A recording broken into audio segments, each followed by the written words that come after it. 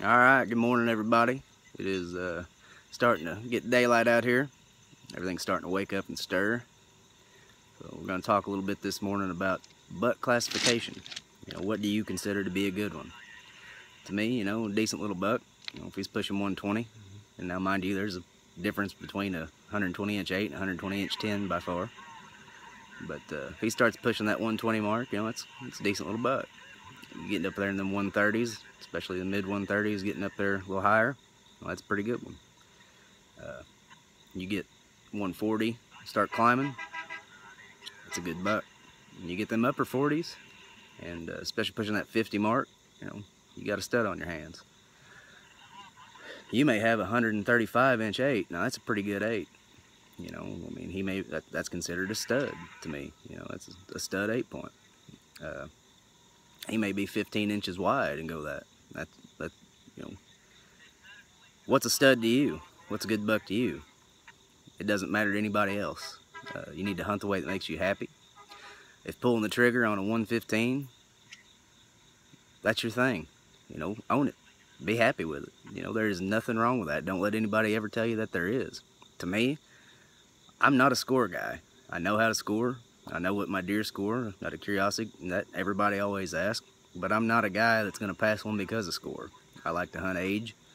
Uh, I like to beat the better chess player, and that's my thing. What's your thing?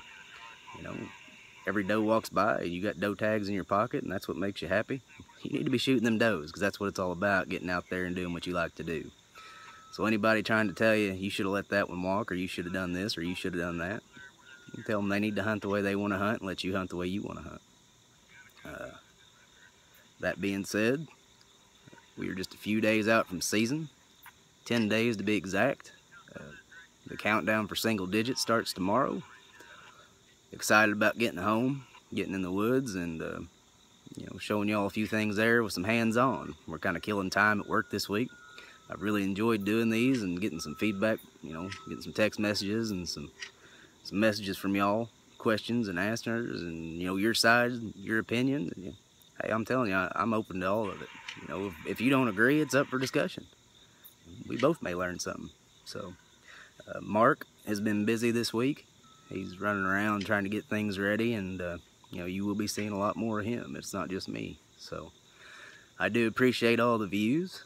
That's the kind of feedback we're looking for. I think we've got a couple out there that the number's getting pretty high on, and uh, you know, that's great. I will tell you this, you know, we, we're not that show from up the road that is going to tell you, you know, we killed a 130 whenever we really shot a 110. That ain't us. We're not here to impress. I can promise you, if I shoot a 110, it's because it's a 110 forked horn, and it needs to go. I mean, that's just the way it is. Uh, I'm not trigger happy. I'm not knocking anybody that is. Trust me, like I said before, you need to hunt it makes you happy. I just get tired of cleaning them. It really helps me hold off the trigger. So, if we when we stick one it will be worth sticking. I can promise you that.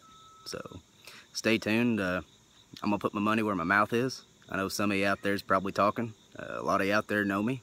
And you know you've been around you know. There's a lot of you out there think that i'm a know-it-all and whatnot and that's fine.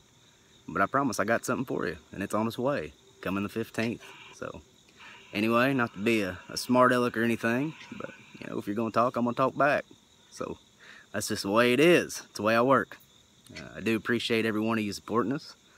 Uh, I do have plenty of hats. We're going to be selling a few to try to make up some of this money we're sinking into this thing. You know, we ain't going nowhere. I can promise you that.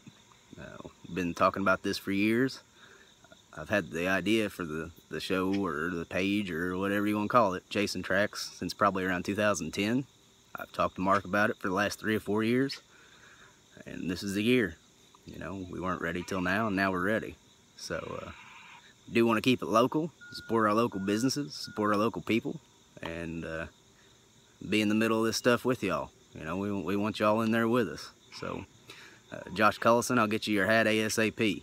So as soon as I get home or as soon as Mark makes a trip down to town again, uh, I'll get one in the truck headed your way. Not sure if you want it, but you got it. So, all right, buddy, we'll catch up with you later, and thank you all for watching. Have a good one.